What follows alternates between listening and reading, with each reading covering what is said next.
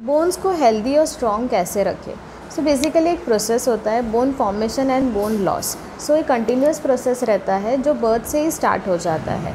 Till thirty years of age bone formation bone loss को compensate कर सकता है। But after thirty years of age bone loss बढ़ जाता है और बोन फॉर्मेशन थोड़ा कम हो जाता है। उसके दूसरे रीज़न स्टीरोडल यूज़ या फिर अल्कोहल कंजम्पशन टबैको कंजम्पशन या तो मैनोपॉजल फीमेल्स में ये प्रॉब्लम दिखाई देती है।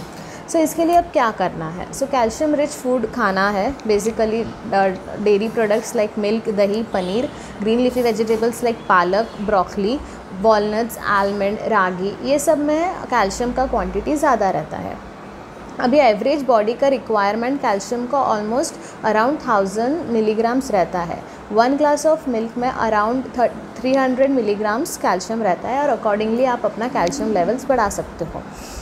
फोर्थ इंपॉर्टेंट थिंग जो है वो है कि विटामिन डी पे एक रेगुलर चेकअप रखें because vitamin D and calcium goes hand in hand अगर विटामिन डी ज़्यादा रहेगा तो प्रॉपरली कैल्शियम बोन्स में डिपॉजिट हो पाएगा also have a regular physical activity regular walk which will improve your bone density and bone strength and avoid alcohol and tobacco consumption. Please do share with your friends. Thank you.